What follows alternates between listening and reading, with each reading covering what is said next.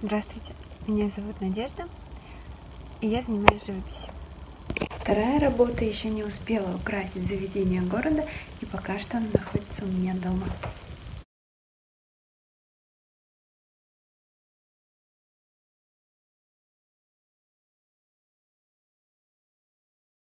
Такое странное у меня представление об интерьерном творчестве. В своем творчестве я сужу по тем эмоциям, которые оно вызывает у других людей, а оно вызывает притяжение.